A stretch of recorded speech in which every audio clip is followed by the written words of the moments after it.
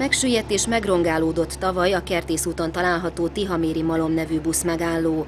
Az év végére az alacsony padlós buszok ottani közlekedése veszélybe került, így a polgármesteri hivatal városüzemeltetési irodája elkészítette a felújítás terveit, majd a kedvező időjárás miatt a héten el is kezdték a munkálatokat.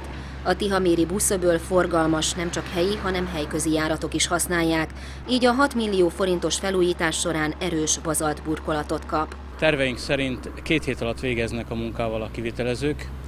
Jól haladnak egyébként, reméljük, hogy ilyen marad az idő.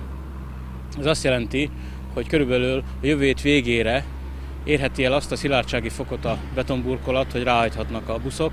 Természetesen mielőtt ráengednénk, azelőtt felülvizsgáljuk, hogy elbírja már a buszokat. Ha minden jól megy, akkor körülbelül két hét múlva közlekedhetnek rajta. A munkálatok idején a buszok pár méterrel feljebb az ideiglenes megállónál állnak meg. Az Agria Volán tájékoztatása szerint az 5 per A jelzésű buszok ezúttal nem várakoznak a megállóban, csak közvetlenül az indulás előtt állnak be oda, hogy ne akadályozzák a forgalmat.